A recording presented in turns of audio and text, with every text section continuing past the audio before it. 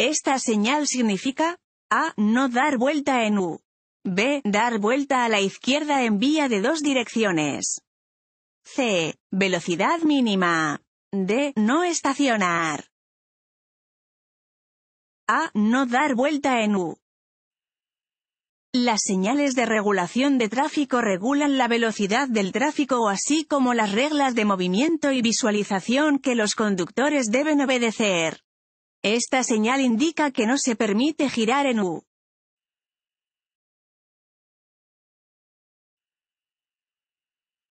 Si un oficial de policía lo detiene, usted debe A. Desabrochar su cinturón de seguridad y bajar su ventana. B. Preparar sus papeles antes de que el policía se acerque. C. Quedarse en el vehículo con las manos en el volante y esperar a que el oficial se acerque. D. Salir del vehículo y caminar hacia la patrulla.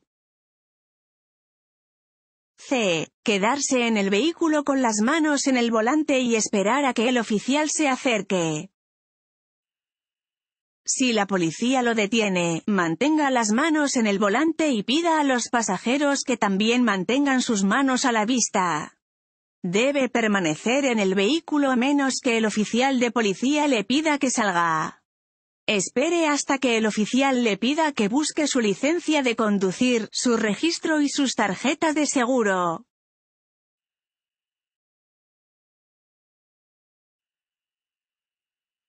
Esta señal significa A. Cruce de vía de tren. B. Una dirección. C. Estacionamiento limitado. D. Advertencia de zona de juegos. A. Cruce de vía de tren. Las señales de tráfico circulares alertan a los conductores de los próximos cruces de ferrocarril. Esta señal les dice a los conductores que se están acercando a un cruce de ferrocarril y deberían estar buscando señales de un tren que se aproxima.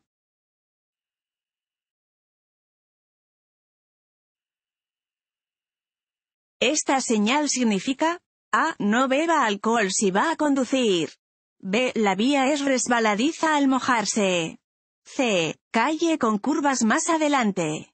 D. Se está acercando a una colina. B. La vía es resbaladiza al mojarse.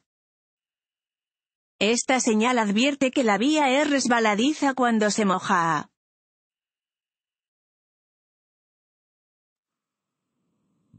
Want to ace UDMV test. Go to cheatsheets.com and get your guaranteed cheat sheet.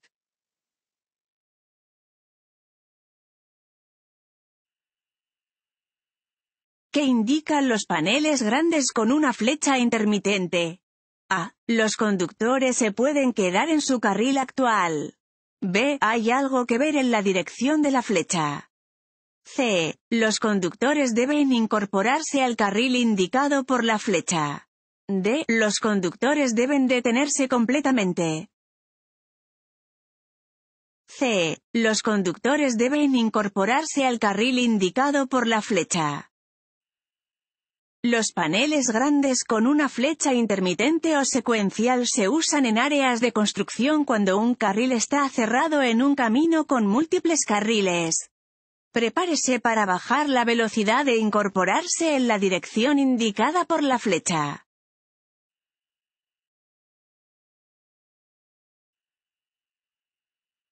Cuando pase a un vehículo de emergencia detenido en un lado del camino, los conductores deben a. Incrementar su velocidad.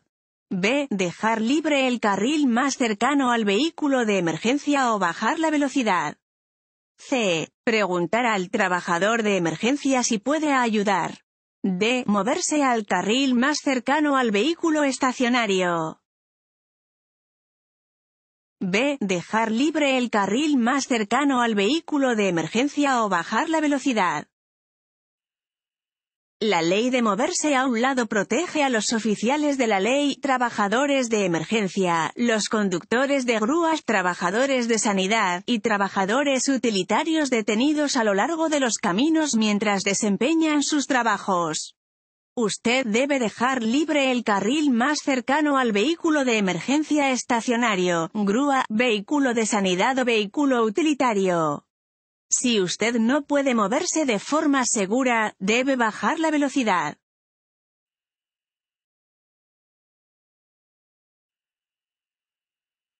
El conductor que ha bebido alcohol antes de ponerse tras el volante. A. Siempre está consciente de los riesgos que toma. B. No tienen control sobre sí mismo o sobre el vehículo que maneja.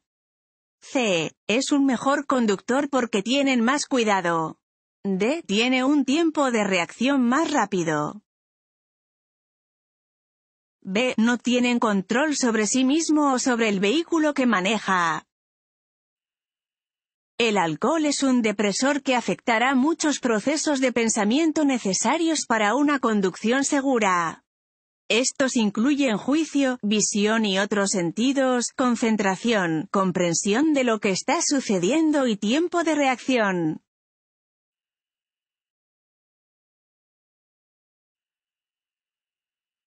Si su vehículo empieza a derrapar, gire el volante, a. Para mantener las ruedas delanteras derechas. B. En la dirección que quiere que vaya el vehículo. C. En el lado opuesto al que derrapa. D. En cualquier dirección. Da igual. B. En la dirección que quiere que vaya el vehículo. Si su vehículo patina, usted debe girar el volante en la dirección en la que desea que vaya el vehículo. Tan pronto como el vehículo comience a enderezarse, gire el volante hacia otro lado.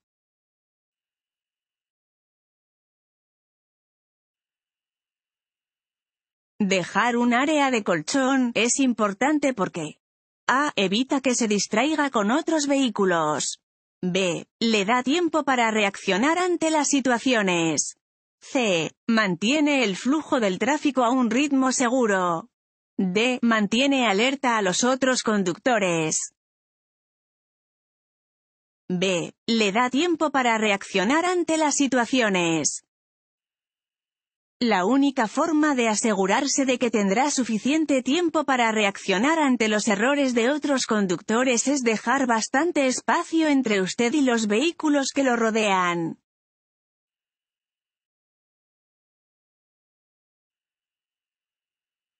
Esta señal significa A. Pare. B. No hacer vuelta en U.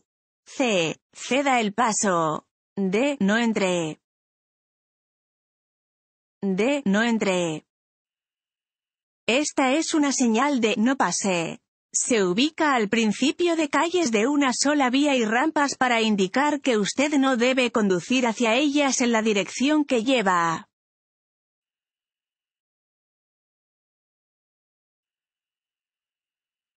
Para adelantar a un vehículo que va lento en una calle de dos carriles, usted debe A. No cruzar la línea central.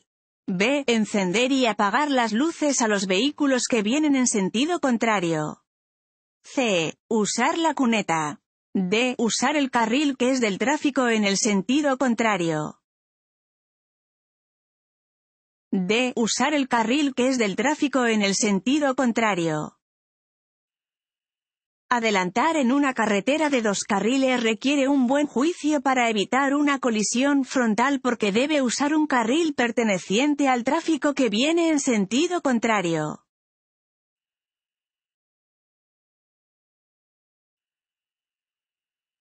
Si está en una calle con más de un carril en su dirección, A. De vuelta al carril más cercano. B. De vuelta al carril marcado con una flecha. C. De vuelta en el carril central. D. No importa a qué carril de vuelta. A. De vuelta al carril más cercano. Al girar en una calle con más de un carril en la dirección en que viaja, usted debe girar en el carril más cercano.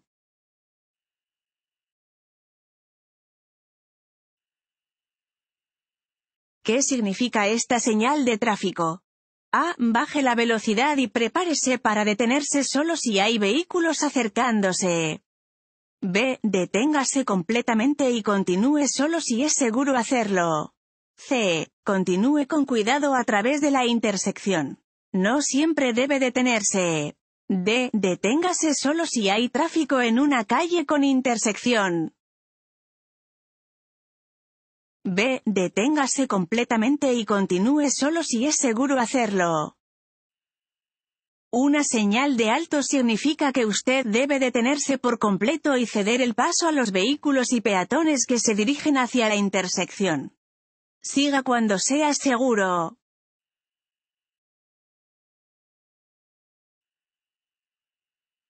Al adelantar otros vehículos, A. Fíjese en sus espejos y lugares ciegos. B. Suene su claxon por lo menos tres veces. C. Vaya dentro de 10 pies del vehículo que va delante de usted antes de adelantarlo. D. No es necesario usar su direccional. A. Fíjese en sus espejos y lugares ciegos. Antes de pasar a otro vehículo, revise sus espejos y puntos ciegos. Antes de cambiar de carril, marque la señal de giro apropiada.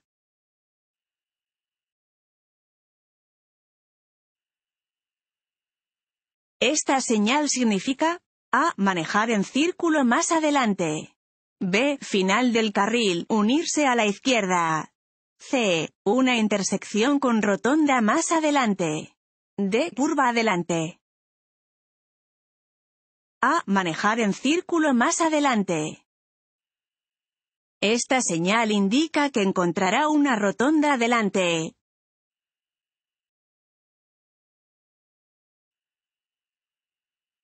¿Cuál de las siguientes es una causa común de un choque? A. Manejar desatendidamente. B. Velocidad excesiva por las condiciones.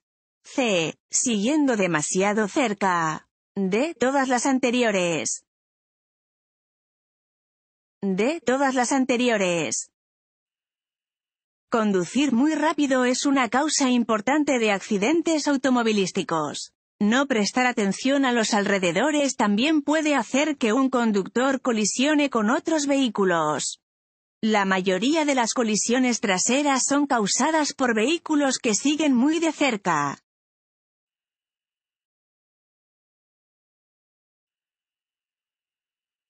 Si explota una llanta mientras está manejando. A. Aplique los frenos rápidamente. B. Trate de conducir derecho al bajar de velocidad lentamente y hacerse a la orilla de la calle. C. Mantenga la misma velocidad y agarre fuertemente el volante para que vaya el carro derecho. D. Gire bruscamente de acá para allá para avisar el tráfico de atrás. B. Trate de conducir derecho al bajar de velocidad lentamente y hacerse a la orilla de la calle. Cuando un neumático explota inesperadamente, sostenga el volante con fuerza y mantenga el automóvil en línea recta. Suelte el pie del acelerador y no aplique los frenos hasta que tenga el control completo.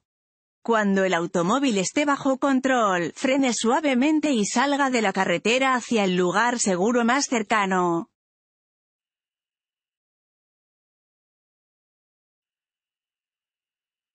¿Cuáles de las sustancias siguientes puede perjudicar su capacidad para conducir con seguridad y puede resultar en un arresto por conducir bajo la influencia de intoxicantes, DUI? A. El alcohol, incluyendo cerveza, vino y otros licores. B. Una sustancia controlada, como las drogas ilegales o medicinas recetadas. C. Una sustancia inhalante, como el pegamento o la pintura. D. Todas las anteriores. D. Todas las anteriores. Una gran variedad de sustancias tóxicas pueden afectar su capacidad de conducir. Estos incluyen todo tipo de bebidas alcohólicas, así como también drogas ilegales, inhalantes y muchos medicamentos legales, tanto recetados como sin receta.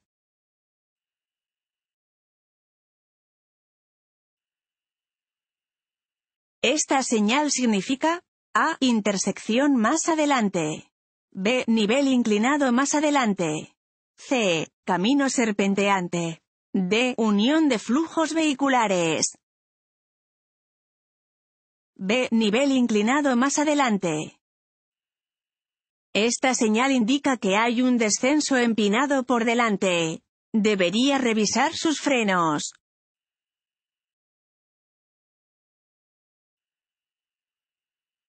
¿Cuál de los siguientes es falsa sobre manejar en invierno? A. El invierno es la temporada de manejo más difícil. B. Revisar sus niveles de anticongelamiento y de fluido del limpiaparabrisas es especialmente importante en invierno. C. Usar el regulador de velocidad en invierno es lo más seguro que puede hacer. D. Es mejor usar ruedas de nieve en las cuatro ruedas de su vehículo. C. Usar el regulador de velocidad en invierno es lo más seguro que puede hacer. Usted no debe usar el piloto automático en condiciones de nieve, lluvia, niebla o similares.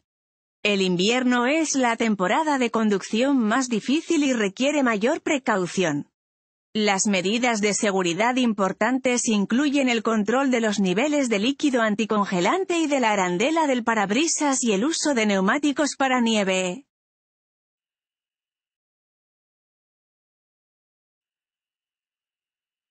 Las señales de cruces indican A. Cruce de vías de ferrocarril. B. Zonas escolares. C. Zonas de no adelantar. D. Hospitales. A. Cruce de vías de ferrocarril. Las señales de cruces le indica a los conductores que cedan el paso a los trenes en un cruce de vías de ferrocarril. Los conductores no deben intentar ganarle el paso al tren.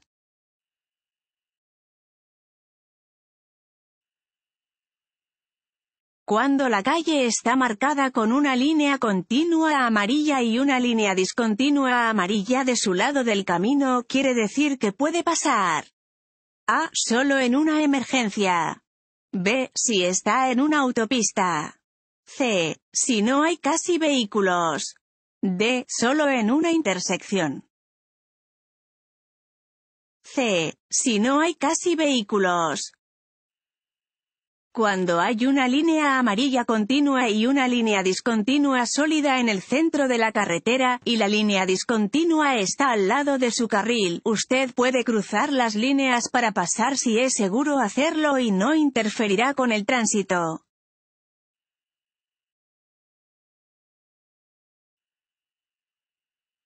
Usted pide prestado el vehículo de su amigo. Nunca lo ha manejado antes. Usted debe, a. Manejar enseguida porque todos los vehículos son similares. B. No mostrarle a su amigo que no está familiarizado con el vehículo. C. Ignorar defectos obvios para no avergonzar a su amigo. D. Tomarse unos minutos para familiarizarse con la operación y ubicación del equipo del vehículo. D. Tomarse unos minutos para familiarizarse con la operación y ubicación del equipo del vehículo. Cuando maneje un vehículo desconocido, tómese unos minutos para familiarizarse con la ubicación y operación de las señales de advertencia de giro y peligros, luces y selector de luces, limpia parabrisas, frenos, selector de marchas y bocina. Cualquier defecto debe ser corregido antes de conducir el vehículo.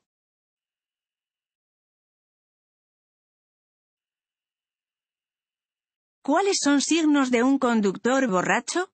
A. Zigzagueo entre carriles. B. Manejar más despacio que el flujo vehicular normal. C. Se detiene rápida y repentinamente. D. Todas las anteriores. D. Todas las anteriores. Las señales de un conductor ebrio, que la policía está entrenada para reconocer, incluyen exceso de velocidad, zigzaguear, conducir más despacio que el flujo de tráfico normal, hacer movimientos bruscos y hacer paradas rápidas y repentinas.